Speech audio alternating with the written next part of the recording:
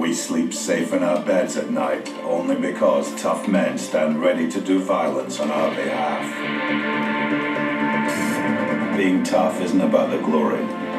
It's not something you can learn or imitate. It's something you're either born with or you're not.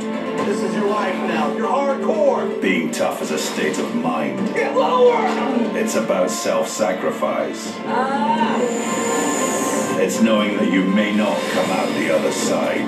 You've only got one chance, you're never going to get it back. Discovery Channel is storming Thursday nights, taking you to the frontline action. We are flying right in to the danger zone. Experience the adrenaline hairs all standing up in the back of my neck and I have to take that shot. and the danger.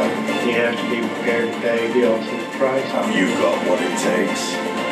Tough Guy Thursday. Thursday. Exclusively on Discovery Channel.